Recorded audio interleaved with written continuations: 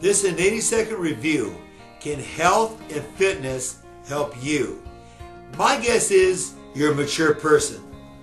My guess is you're an influential thinker. That you understand the power of one great idea. that when you're inspired, you get your solutions. That when you redirect your mind through inspiration, that you can turn nothing into something. That all things around you came from an inspired idea. Health and fitness, the idea to do it. Rarely does a good idea interrupt you. Seeking you should find. For things to change, you need to change. Let's say worst case scenario. You're broke, stupid, unhealthy, you don't do health and fitness, and ugly.